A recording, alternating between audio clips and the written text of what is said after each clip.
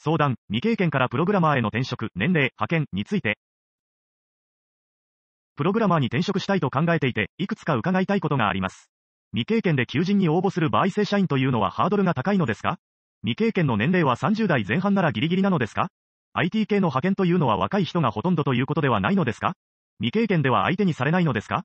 未経験の場合わざわざスクールに通って知識を習得するより早く就活し経験を積む方が良いのですか？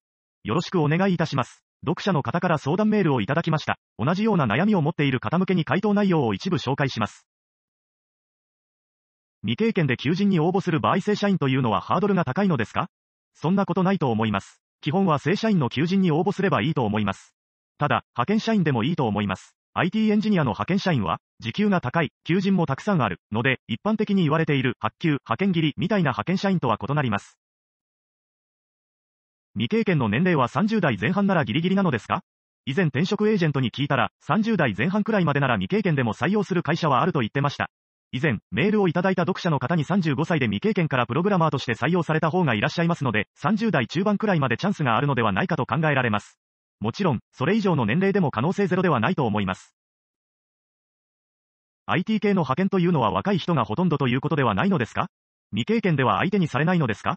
知り合いの先輩で30代後半で派遣で働いてる人がいますので、若い人がほとんどってこともないと思います。未経験では相手にされないかはわかりません。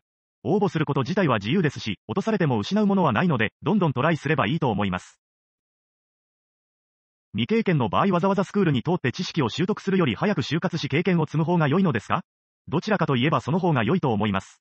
会社に入って仕事をしながら覚えた方が習得も早いですし、給料ももらえますからね。とはいえ、先にスクールで学んでから就職した方が、入社した後が楽です。ですから、どちらでもいいと思います。スクールで学びながら、就活も並行でやるのもいいと思います。